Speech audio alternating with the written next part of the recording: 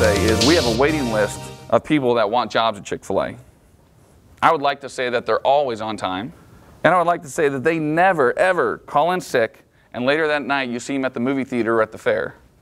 We fish in the same cesspool of employees that everybody else does. And that's just how it is. And so, and um, that's, that's the reality of it. I was talking to my managers uh, a couple days ago about, some hiring because we are doing some hiring right now. And I said, um, let's come up with some numbers.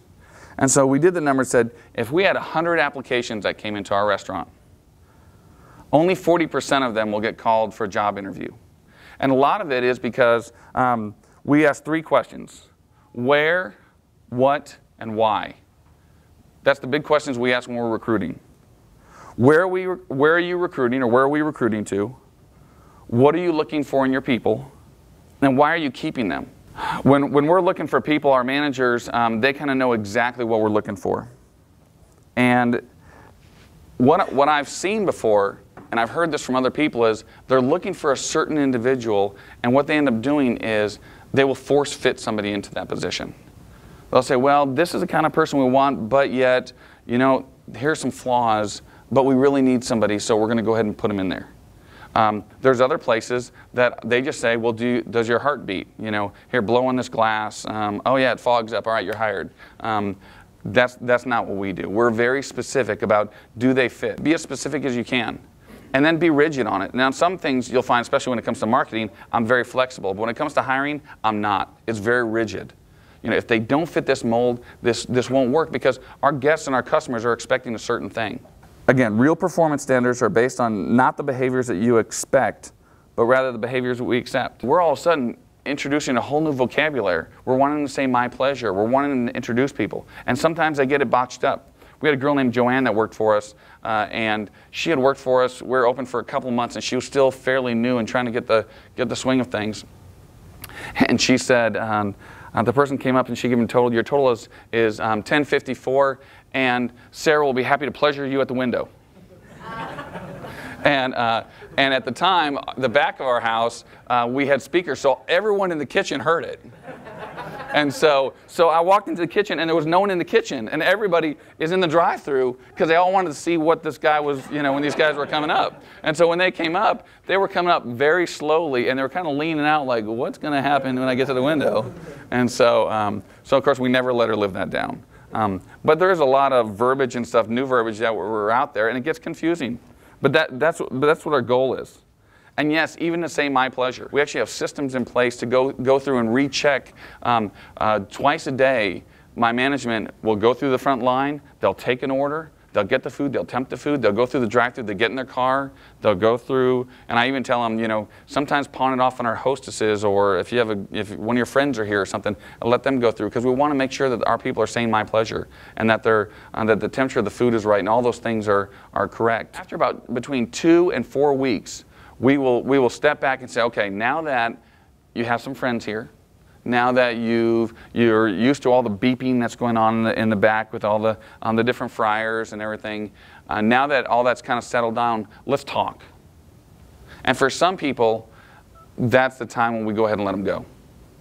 Because we've worked with them for anywhere from two to four weeks and they're not smiling out front. And John Maxwell talks about when, um, on a scale of 1 to 10, if you have somebody that is a 4 in customer service, you can work with them and you can work with them, and the best you're going to get is a 6.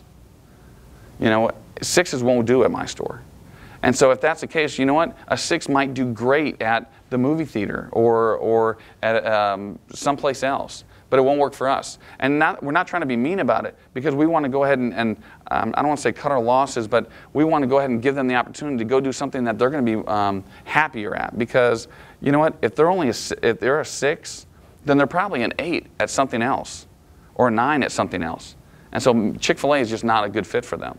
As, as I've matured as a leader, I found a lot of my team members, they were struggling with things uh, they were struggling with their home life. They were struggling with their um, with school, with um, how they feel about their self-image, about um, you know how are they going to pay for things, and they see me as a business owner, who's uh, clearly an established business owner, and they may not see me a whole lot. I know that a lot of them probably think I go and golf, but I don't golf at all. Um, but it's because I have, I have two locations. Um, so I'm, I'm, between the two stores. I have a licensed location at Oral Roberts and in, Wichita State. I do a lot of um, public speaking. I'm on the innovations team at the home office. I'm the guy that helps come up with the crazy ideas. And so I wrote this book because I wanted them to know um, what I went through when I was growing up. And I'm not going to go into a whole lot of uh, details on it, but you know, when I was growing up, um, you know, I had my mom was an alcoholic, and we had a lot of struggles in the family. I had scoliosis, so I had to wear a back brace in high school. I actually graduated from Union High School right down the street from where I live. And, and when I went to Oral Roberts University, I struggled. I had to work four jobs in order to go to school. And so, yes, I know what a lot of these kids are going through. There was times when I was um, when I was given plasma when I had um, Eastland Mall and I was making no money, and my wife and I were trying to buy things for each other for Christmas. So we went and gave plasma, and it was real embarrassing. And they say, "Where's your employer?" "Oh, I own Chick Fil A." no, you don't. Yes, I do. I promise, I do. smell me, smell. I smell like peanut oil. Um, and, uh, and, but that's how it was. Now, it's not the same anymore, but the, the employees don't see that. So I wrote this book mainly for them. They're never going to be trained completely, but it is one of those that there's a certain level that we expect. And if they're at that level, then that's fine.